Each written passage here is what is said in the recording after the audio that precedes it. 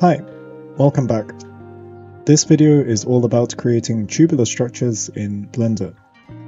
I've recently released a couple of assets based on procedural tubes made using geometry nodes.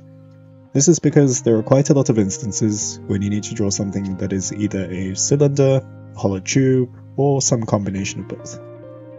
Blood vessels are a good example, but there are many other examples, including optical fibers, chemical reactors, even nanowires, nanofibers, and so on. A common theme with all of these illustrations is that you often want to show some kind of internal structure, by peeling back layers, creating cutaways, or a combination of these two.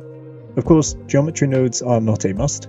You could use ordinary mesh modeling, or maybe use boolean modifiers for the cutaway effects, but this can limit the ability to edit later. Also, booleans can easily get computationally quite heavy, especially when trimming complex geometries and slow Blender down.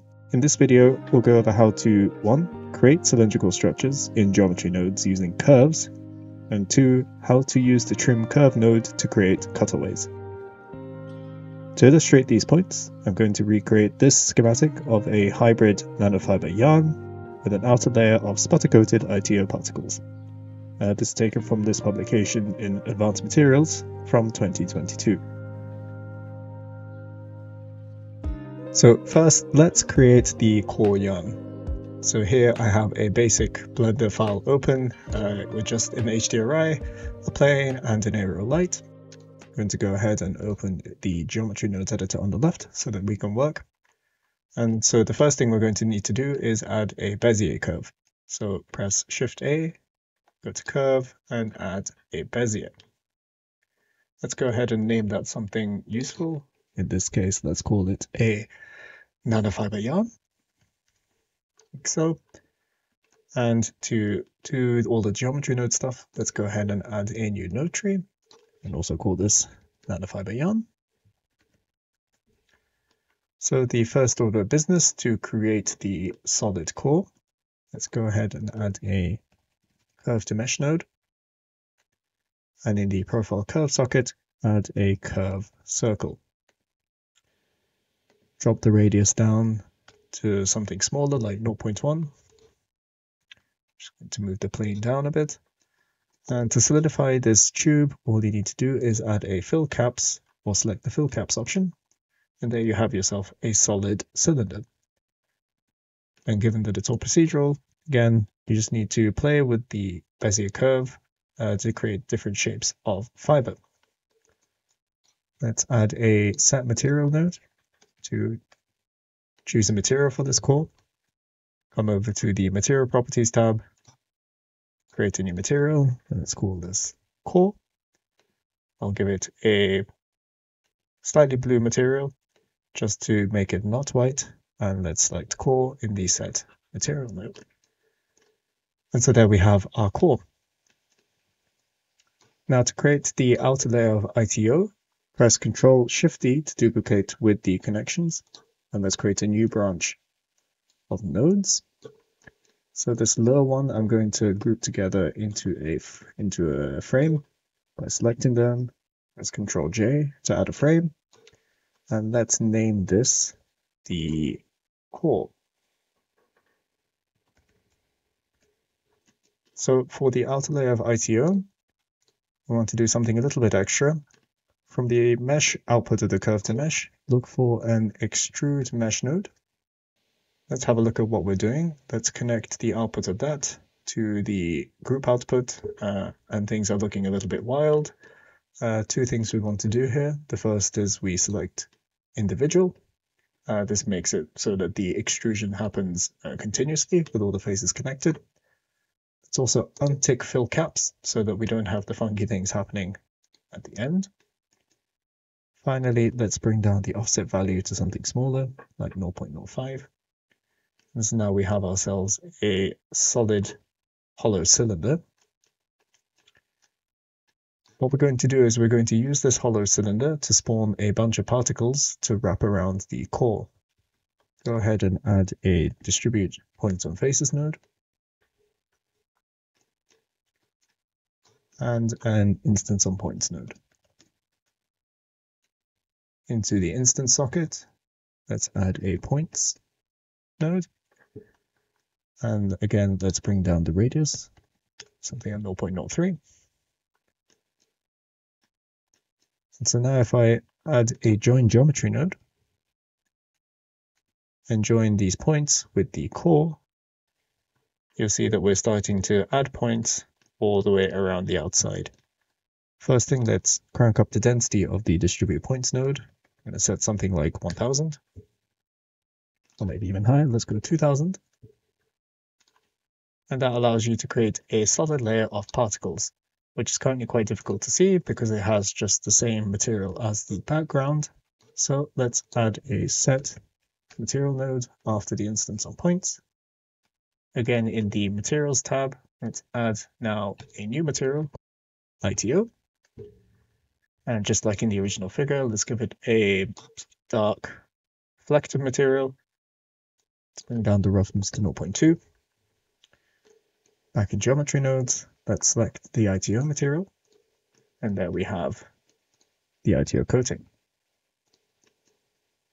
This is looking good. So now essentially what we have is a layer of ITO particles, the thickness of which we can control by changing the amount of extrude mesh. We can also make the particles smaller or larger just by controlling the radius of the points. And if you've happened to find gaps in between, all you need to do is up the density of the distribute points and faces.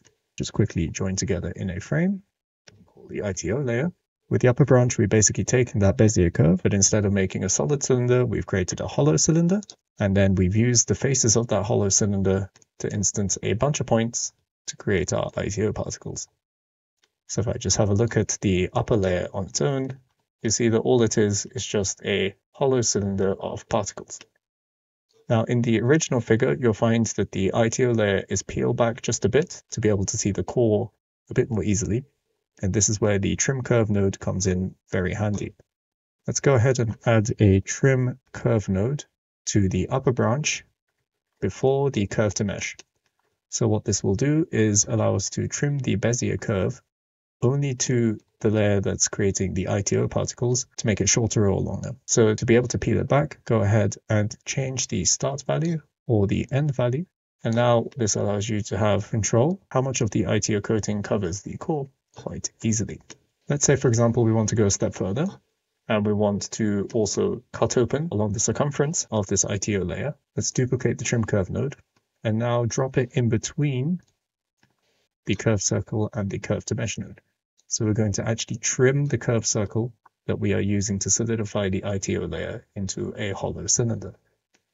So again, if I play with the start and end values, I can use that to create a partial coating of ITO. We're talking at the start, we can have full coverage and also to peel it back like this to show the core inside. So already with these two trim curve nodes, we can do quite a lot of interesting cutaways and internal structure illustrations for things like composite structures, composite fibers, and so on. One final step we can do is we can combine these two controls of length and radial control of how the trimming works so for example, maybe I want only one section of this length of nanofiber to have this cutaway happening, and the rest is just solid coating of ITO.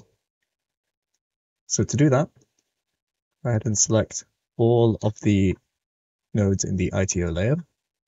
Control Shift D to duplicate everything with the node still connected. Now let's also connect the output of that into the join geometry. Next, you want to add a value node. And this is going to drive where the, the different trim behavior happens. to set this to something like 0.5. Now, you want to take this value and input it into the end value of the trim, trim curve for one of the layers, and also the start of the other trim curve for the second layer. Make sure to set the start value to zero for the first one and the end value to 1 on the second. Let's say that the top layer is the section of ITO where we do not have this radial slicing. So I'm going to get rid of the trim curve node between the curve circle and the curve to mesh. And so now you can see what's happening. Halfway along the Bezier curve, we get the full coating of ITO, which is created by this top layer. So I'll go ahead and rename this top set of nodes as the ITO, say full layer. And then the second half of the Bezier curve, we have the ITO layer sliced open. So maybe I can rename the second group as ITO sliced layer. And so now with this setup, we can control how much of this um, ITO layer is sliced and where it slices based on this value node that we just added. So if I increase the value within reason to less than uh, less than one, so if we set it to 0.8, for example, uh, 0.8 or 80% of the curve has full coverage of the ITO layer and 20% is sliced open. And again, using the trim curves that we added before, we can control how that trim section looks. Like so, and we have full procedural control over how this looks. Side note, obviously this approach works if you're illustrating a structure where the outer layer is just a regular solid layer rather than a layer of particles. All you'd have to do is just not have the distribute points and faces and instance on points. So if I mute the instance on points and distribute points nodes, you'll see that you get a solid layer. You might find, for example, that you have a funky interface where you have joining of the two sections with different slicing operations. The way that you can get around that is you can add a merge by distance node. So what I would suggest is have a join geometry node just for the outer layers and join them first. After the join geometry, go ahead and add a merge by distance node and plug that in. So what you're doing is you're merging the full layer and the slice layer together before joining it with the core. The default value of distance of 0.001 is usually enough then to get rid of the discontinuity that you see at the interface. So now you have a smooth connection between the sliced and not sliced section of the layer. And that's basically it for how you can create some schematics of tubular structures, nanowires and so forth using procedural methods in geometry nodes. If you enjoyed this tutorial and found it useful, please leave a like and a comment. Subscribe for more content and I'll see you in the next video. Bye bye for now.